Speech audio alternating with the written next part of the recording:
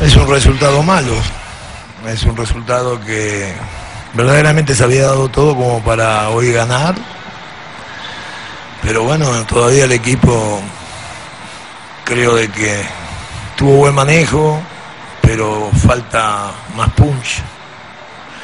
Tiene que tener más llegada de gol y concretar las que tenemos y no las concretamos y así es el fútbol.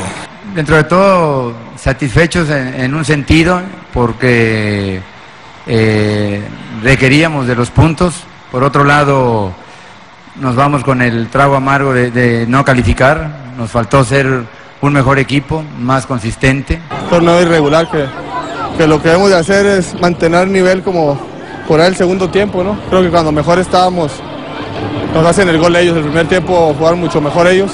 Tienen muy buenos jugadores que manejan muy bien la pelota. Y después, pues no queda más que trabajar. Durante todo el torneo se había estado dentro de los ocho. Era rara la fecha en la que salíamos y regresábamos a la siguiente semana.